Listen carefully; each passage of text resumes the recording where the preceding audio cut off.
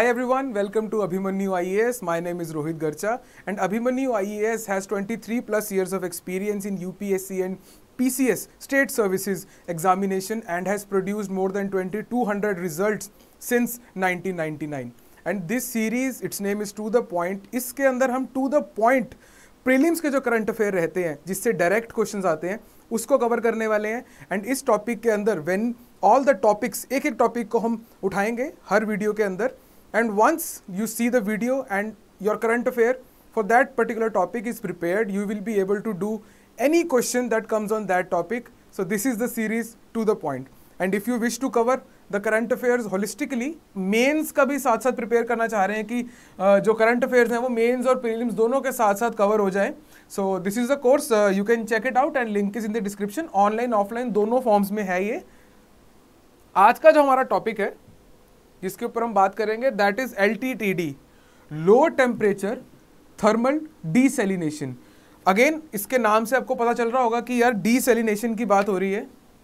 Desalination की बात हो रही है तो इसका मतलब कि आ, कुछ किसी कोस्टल एरिया की बात होगी कि अल्टीमेटली डीसेलिनेशन किसकी करते हैं? डीसेलिनेशन सॉल्ट को निकालना डीसेलिनेशन कोस्टल एरिया में। तो इसका जो कॉन्टेक्स्ट है कि अभी रिसेंटली लक्षद्वीप आइलैंड्स के अंदर जो कोरल आइलैंड्स हैं हमारे वहाँ पे इस टेक्नोलॉजी को जो है इम्प्लीमेंट किया गया है। सो so, हमारे लिए जो प्रीलिम्स पॉइंट ऑफ़ व्यू से टू द पॉइंट जो चीज़ इंपॉर्टेंट है हम उन चीज़ों को आज डिस्कस करने वाले हैं। नंबर वन की MoES ministry of earth sciences का ये प्रोजेक्ट है है ना? किसके थ्रू की है? An national institute of ocean technology देखिए यहाँ पे थोड़ा सा चीज़ एक ध्यान रखने वाली है कि डीसेलिनेशन है और हम वाटर को उसमें से सॉल्ट निकाल के उसको पीने लायक बनाने वाले हैं, है ना? तो आपको जो चीज़ ध्यान रखनी है कि कौन सी मिनिस्ट्री ने किया है। ये मिनिस्ट्री ऑफ़ जल शक्ति ने नहीं किया है।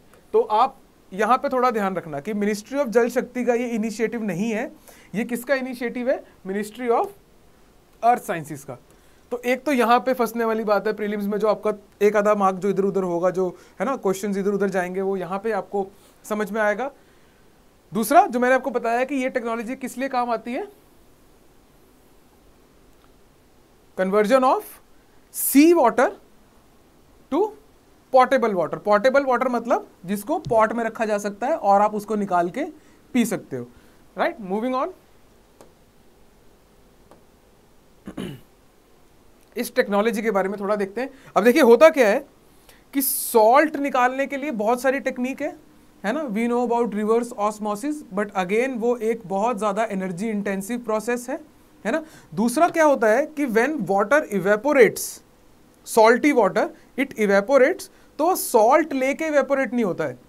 वट आई मीन इज़ कि जो आपके वेपर्स बनते हैं, जो निकलता है वहाँ से they are not salty in nature ठीक है? तो उस चीज़ को यहाँ पे ध्यान रख के किया जाता है। फॉर एग्ज़ाम्पल जो आपके यहाँ पे रेन होती है ultimately we have studied about monsoon season है ना? मानसून के अभी चल भी रहा है मानसून तो आपके सॉल्टी बारिश तो नहीं हो रही है? दैट मीन्स जो इवेपोरेट हुआ था ओशन से तो सॉल्ट वहीं रह गया है। तो उस चीज़ को ध्यान में रखते हुए एलटीटीडी इसकी फुल फॉर्म हमने पढ़ी थी अभी टेम्परेचर डिफरेंस को यूज़ करती है available between what surface water and deep sea water geography में आपने पढ़ा होगा, ये करंट का पार्ट नहीं है वैसे, जो मैं ये चीज़ बता रहा हूँ, ये स्टैटिक पार्ट है, कि जो सरफेस वाटर होता है that is warmer warmer comparison to जो डीप सी में होता है। तो डीप सी के अंदर जो है that is that is cold water colder water comparison में। तो ये उस चीज़ को यूज़ करता है। सी एक बार ना इसका डायग्राम देखते हैं पहले। Now this is your warm water जो कि सरफेस पे है। वार्म वाटर आपका इवेपोरेट होता है। इस जगह पे वार्म वाटर को हमने पंप किया this is this surface water अब सॉल्ट आपका यहीं रह गया। और ये आपका नीचे जो जो इवेपोरेट नहीं हुआ, यहाँ पे आपका वाटर इवेपोरेट हुआ है, जो इवेपोरेट नहीं हुआ, उसको हमने वापस डाल दिया इस वाटर को, जो यहाँ पे वेपर्स की फॉर्म में है let us use a different colour vapours की फॉर्म में इसको हम एक हीट एक्सचेंजर में लेके जाते हैं। अब हीट एक्सचेंजर में क्या होता है कि हीट हायर टेम्परेचर से लोअर टेम्परेचर पे जाती है। तो हायर टेम्परेचर से लोअर टेम्परेचर पे जाने के लिए कुछ लोअर टेम्परेचर का होना भी चाहिए। अब उस लोअर टेम्परेचर को कैसे अचीव किया जाता है? यहाँ से। Deep sea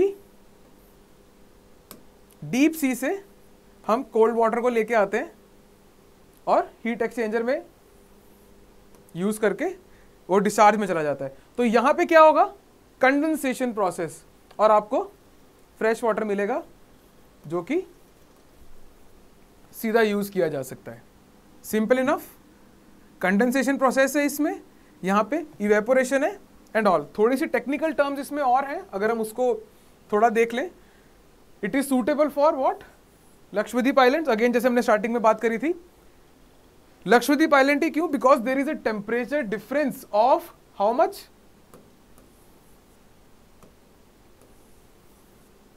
temperature difference of 15 degrees Celsius between what surface and deep sea water तो यहाँ पे हमें टेम्परेचर डिफरेंस मिल गया जैसा हमने लास्ट वीडियो में देखा था। लास्ट स्लाइड में देखा था एम सॉरी लास्ट स्लाइड में हमने जो देखा था दैट इज़ इस वाटर के अंदर और इस वाटर के अंदर, इन दो वाटर्स के अंदर जो फ़र्क है 15 डिग्री सेल्सियस का फ़र्क है। तो दैट्स वाई ये वाला जो प्रोसेस है, वो काम में आता है। बहुत एक इंपॉर्टेंट बात यहाँ पे कि एलटीटीडी टेक्नोलॉजी जो है, वो लक्ष्मद्वीप के अंदर बहुत सही जा रही है। एंड अभी तक आपने इसमें नोटिस किया होगा कि कोई भी जो डिस्चार्ज है एफ्लुएंट ट्रीटमेंट है, वो इसमें नहीं हुआ है। वट आई मीन इज़ कि कोई भी केमिकल इसमें यूज़ नहीं हुआ है। So automatically this technology becomes eco friendly right so because it does not use any chemical कब? Pre and post treatment fresh water आ रहा है आपके पास? प्री एंड पोस्ट ट्रीटमेंट दोनों जगह हमने कुछ नहीं यूज़ किया। क्या यूज़ हुआ है सिंपल पंप्स यूज़ हुए हैं ताकि हम हीट एक्सचेंज को टेक प्लेस करवा सके। सो so, अभी लक्ष्मद्वीप के अंदर जो very very sensitive coral environment है वो तो वहाँ के लिए technology becomes highly important and as a civil servant aspirant आपको भी ये टेक्नोलॉजी हाईली इंपॉर्टेंट लगेगी बिकॉज़ अगेन इन्वायरमेंट को बचाया जा रहा है और खासकर एक ऐसा इन्वायरमेंट जो बहुत ही ज़्यादा सेंसिटिव है।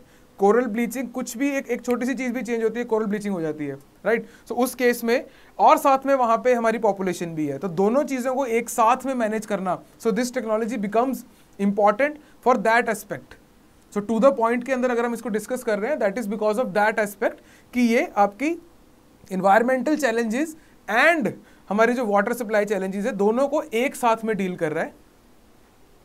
सी अब दूसरा इंपॉर्टेंट पॉइंट ये आप मेंस में भी यूज़ कर सकते हैं वैसे। कि since no effluent treatment is required तो इसकी जो ऑपरेशनल एंड मेंटेनेंस प्रॉब्लम्स है, वो भी कम होगी इंक्लूडिंग इसकी कॉस्ट एफ्लुएंट की कॉस्ट रहती है ट्रीटमेंट की कॉस्ट रहती है, अगर आप केमिकल इनपुट देते हैं, उसकी कॉस्ट रहती है, वो सब नहीं है। सिर्फ़ इनिशियली है। एक और पॉइंट जो इसमें हमने ध्यान रखना है कि as sea bed topography and environment are different in each island इतने विविड है हमारे islands the design of marine structures and cold water pipe was completed considering site specific conditions की कोई एक टेक्नोलॉजी का जो बेस है, जिसमें हम वो इवेपोरेशन की बात कर रहे हैं और उस सब की बात कर रहे हैं, वो एक है बेस एक है प्रिंसिपल्स एक हैं, लेकिन साइट स्पेसिफिक के हिसाब से उसको अरेंज किया जाएगा। Makes a lot of sense तो अभी हम इसके आगे चलते हैं और देखते हैं कि इसके ऊपर क्वेश्चंस क्या क्या बन सकते हैं।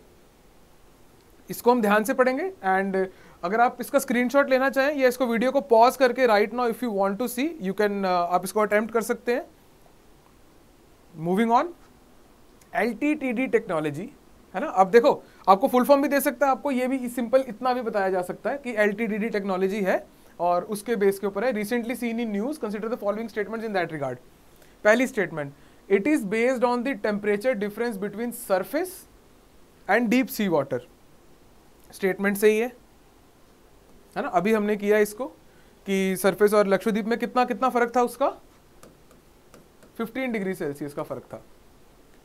Statement B it salinates and adds mineral to the water and make it portable देखो एड एड्स मिनरल आपको कंफ्यूज कर सकता है क्योंकि एक डिस्टिल्ड वाटर पीने लायक नहीं होता है। तो एड मिनरल वाला थोड़ा कंफ्यूजिंग है, लेकिन यहाँ पे क्लियर हो गया कि सेलिनेट नहीं करता है। It desalinates. तो आपको इन सब चीज़ों का ध्यान रखना है। इट डीसेलिनेट्स तो इन दो चीज़ों की वजह से this statement becomes wrong no effluent treatment is required for the discharge ये तो हमने उसके एडवांटेजेस में किया था। दैट इज़ वाई हमारी जो कॉस्ट है, इसकी वो कम है। तो ये स्टेटमेंट सही है। It has been deployed in UT of Lakshadweep islands हाँ बिल्कुल। एंड लद्दाख एंड लद्दाख अरे लद्दाख में कौन सा समंदर है यार, जिसको आप डिसलिनेट करोगे? नहीं है। ठीक है? तो because of this particular thing कि इसमें लद्दाख का नाम किया है तो ये वाली स्टेटमेंट भी रॉन्ग हो जाती है। तो क्या आंसर बनता है हमारा? क्या आंसर बनेगा? A and A and C only है ना? तो इस टाइप की चीज़ें हैं। अब देखिए यहाँ पे आपकी नॉलेज भी यूज़ हुई है जो एल टेक्नोलॉजी की थी और साथ ही साथ हमारा इसमें क्या यूज़ हुआ है? यहाँ पे एलिमिनेशन भी यूज़ हुई है। सो so, आप अगर आपको एल के बारे में पता है so this question falls into easy अगर आपको एलटीडीडी के बारे में पता, अगर एलटीडीडी के बारे में नहीं पता तो ये क्वेश्चन है unattemptable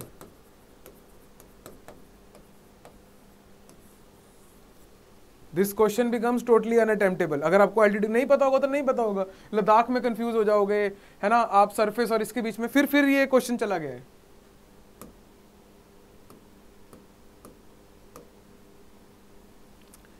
सो so, आज की वीडियो के लिए हमारे पास इतना ही है। इसके ऊपर जो ज़्यादा प्रीलिम्स क्वेश्चन है वो नहीं बनेंगे। And do check out the course complete course जिसमें ऐसे टॉपिक्स को कंप्लीटली कवर कर दिया जाएगा कि once you see this video और once you attend the class और जैसे ही आपके वो नोट्स कंप्लीट हो and the current affairs are complete इससे बाहर आपका कोई भी क्वेश्चन जो है वो आने के चांसेस बहुत कम है। इन केस इन टॉपिक्स के बाहर जो हम क्लास में करेंगे जो हमारा कंप्लीट कोर्स है उसके बाहर अगर कोई क्वेश्चन आता है यू कैन ट्रस्ट मी कि वो किसी से नहीं होंगे सो हाईली क्यूरेटेड क्वेश्चन वहाँ पे आएँगे देर इज़ अ रीज़न कि in the last twenty three years Abhimanyu has produced 2200 plus results.